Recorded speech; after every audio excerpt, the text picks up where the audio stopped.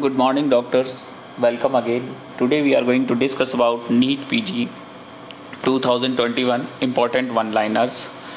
This is part 25th. When blood pressure preserved, saturation improved a little, but patient is very distressed. Increase respiratory rate. Treatment is by IV diamorphine. IV diamorphine. When diamorphine fail, then we go for intubation. When history of IHD, blood pressure 103 by 60, pulse 125 and atrial fibrillation, treatment is by digoxin. Why digoxin? Why not bisoprolol?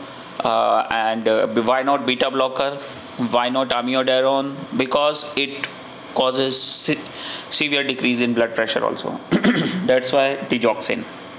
When CHF, chronic heart congestive heart failure. NYHA second to fourth with systolic dysfunction heart rate more than 70 treatment is by ivabradine treatment is by ivabradine nice guidelines on acute coronary syndrome management is by fondaparinux fondaparinux when he planned for angiography within 24 hours then low molecular weight heparin is the best. Otherwise the fondaparinux is a good.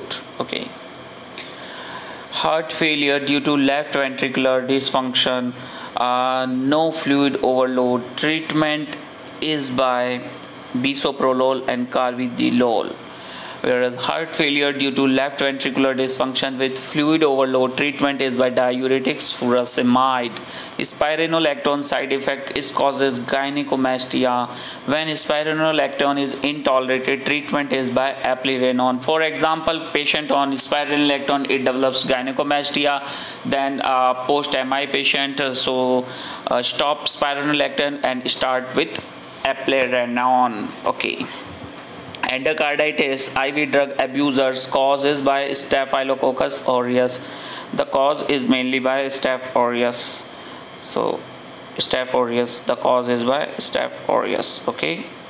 Now asymptomatic patient with premature ventricular ectopies six time ventricular ectopies appears five time four time then reassurance there is no treatment for ventricular ectopies so guys have a good day goodbye. That's all for today. If you like this video put like on it.